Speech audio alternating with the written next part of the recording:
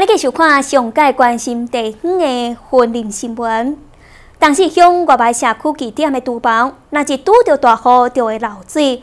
有工程行的头家来甲当时拜拜时阵，拄啊好看到即个据点，了解情形了后，家己是出钱买材料，搁清清查员工，专工队将官来甲外牌社区规社区据点的厨房来整修，希望改善了后，会当个老大人有更较好的环境通使用。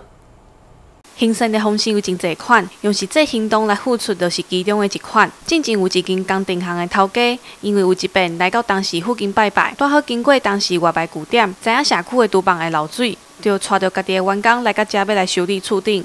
然后也是在一个因缘巧合之下，然后他们愿意来帮助呃我们社区呃的一一些硬体设备的结构，因为已经老旧破损。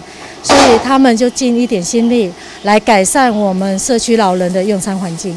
而头车爷爷这修缮的人却真认真在做事。员工表示，头家是家己付因薪水，而且嘛家己出材料费，为中华传来到遮来替这个社区古店修理厝顶。你是为对来？哦，彰化，修三样迄漏水啊，阮来甲用好啊，路伤老啊，啊，内底查甲歹去啊，因为这是阮头家叫阮来的啊。